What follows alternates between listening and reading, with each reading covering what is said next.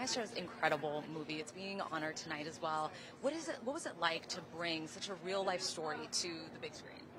Uh, you know, a tremendous honor, and we knew how difficult it would be to do right by them.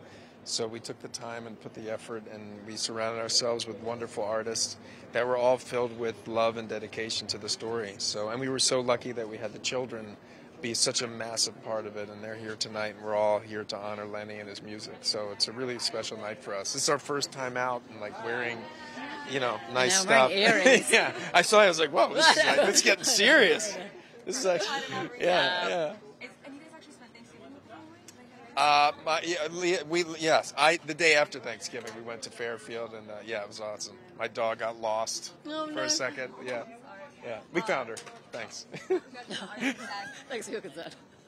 I will say, I spoke with Brooke Shields, and she still calls you her guardian angel. oh well, I was happy to be at the right place at the right time. Definitely. Yeah.